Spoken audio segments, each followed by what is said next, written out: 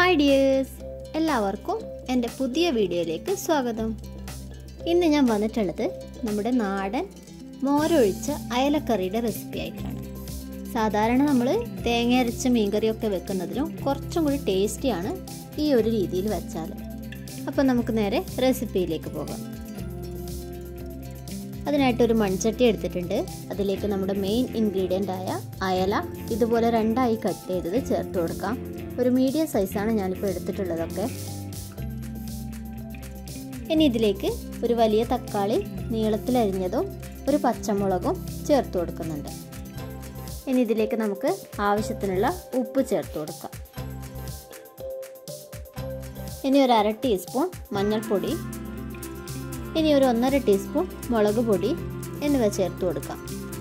നിങ്ങളുടെ കയ്യിൽ ഒരുപാട് എരിവുള്ള മുളക് പൊടിയാണ് ഉള്ളതെങ്കിൽ ഒരു ടീസ്പൂൺ ചേർത്ത് കൊടുത്താൽ മതി.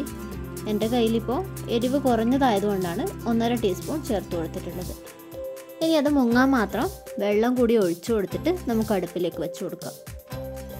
ഇത് വെന്ത് കിട്ടുന്ന സമയം കൊണ്ട് നമുക്കിതിന് വേണ്ടിയിട്ടുള്ള അരപ്പ് തയ്യാറാക്കാം.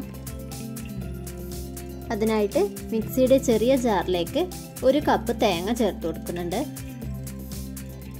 ഇനി ഇതിലേക്ക് ഒരു മുക്കാൽ ടീസ്പൂൺ ജീരകം ചേർത്ത് കൊടുക്കുക.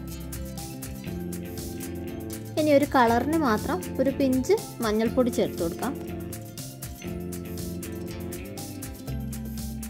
ഇനി ഒരു ചെറിയ കഷ്ണം ഇഞ്ചി ചേർത്ത് കൊടുക്കാം. ഞാനിപ്പോൾ ഈ എടുത്തിട്ടുള്ള അത്ര ഒന്നും ചേർത്ത് കൊടുക്കുന്നില്ല. ഇഞ്ചി ഒരുപാട് കൂടിപ്പോയാൽ കറിയുടെ ടേസ്റ്റ് തന്നെ മാറിപ്പോവും. അതുകൊണ്ട് ഒരു ചെറിയ പീസ് മാത്രം ചേർത്ത് കൊടുക്കാം. ഇനി അരക്കാൻ ആവശ്യമുള്ള വെള്ളം കൂടി ചേർത്തിട്ട് നമുക്ക് നന്നായി പേസ്റ്റ് രൂപത്തിൽ അരച്ചെടുത്തിട്ട് വരാം. അരപ്പൊക്കെ റെഡിയാക്കുന്ന സമയം കൊണ്ട് തന്നെ കറിയിലെ കഷ്ണങ്ങളൊക്കെ വെന്ത് ഒന്ന് കുറുകി വന്നിട്ടുണ്ട്. ഇനി നമുക്ക് അരപ്പ് ഇതിലേക്ക് ചേർത്ത് കൊടുക്കാം. തേങ്ങ അരച്ച ശേഷം അതേ ജാറിലേക്ക് അര കപ്പ് പുളിയുള്ള തൈര് ചേർത്തിട്ട് ഒന്ന് അടിച്ചെടുത്തിട്ടുണ്ട്. നിങ്ങളുടെ കയ്യിൽ മോരുണ്ടെങ്കിൽ മോരെടുക്കാവുന്നതാണ്.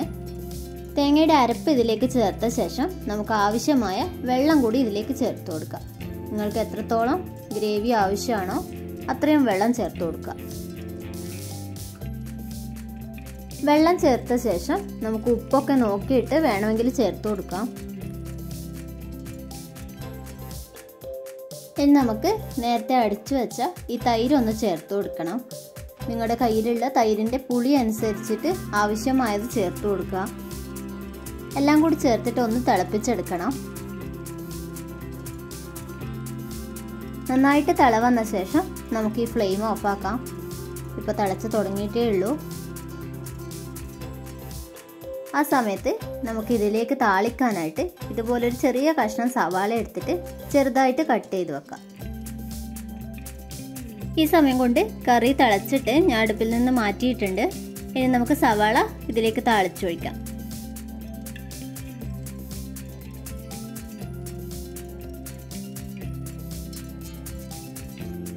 സവാള ഇതുപോലെ ബ്രൗൺ നിറമാകുമ്പോൾ അതിലേക്ക് നമുക്ക് കറിവേപ്പില ചേർത്ത് കൊടുത്തിട്ട് കറിയിലേക്ക് ചേർക്കാം.